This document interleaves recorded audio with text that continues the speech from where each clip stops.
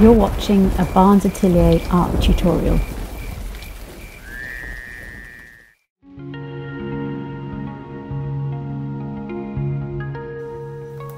Today I'm going to show you how to take a pencil that normally comes with a point like this one and sharpen it uh, to one that we use for drawing that's nice and sharp with a point like this one. It's a fairly straightforward and simple process. We just need a few tools like this sand pad, a utility knife, and I've also got some tissue for wiping away any residual graphite powder afterwards. To get started, you want to take your pencil in one hand and your knife in the other. And you want to take care to not whittle the wood away from this pencil like you might on a stick. That will break it. Uh, the hand that's holding the pencil is pushing the knife and doing all the work. The hand that's holding the knife is just holding the knife.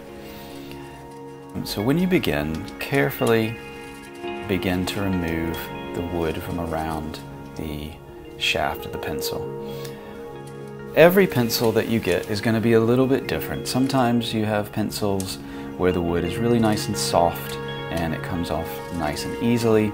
Other times the wood uh, splinters and you get a lot of resistance from the pencil.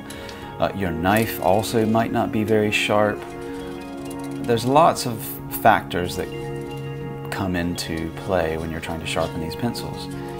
And with some practice, you will get very good at it. But don't worry, you are going to break a few pencils in the process. But this is very useful in learning how to do this. And, it's also a good exercise in patience, which is applicable to realist drawing and painting. By the time you get down to the inside core of the wood. Around the shaft you'll meet some gummy residue that's used for holding the wood securely around the graphite. Just carefully remove this with the blade uh, gently. And when you're done with that, get your sand pad and begin sanding it because we want it a little bit sharper than uh, what's uh, left from just using the knife alone.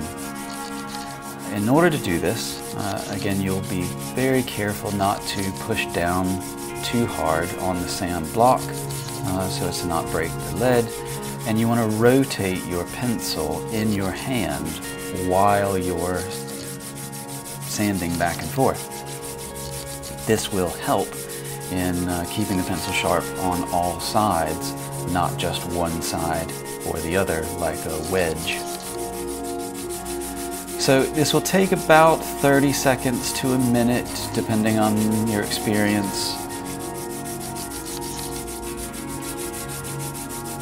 Just take your time and before long you will have a point that you are happy with. And once that's done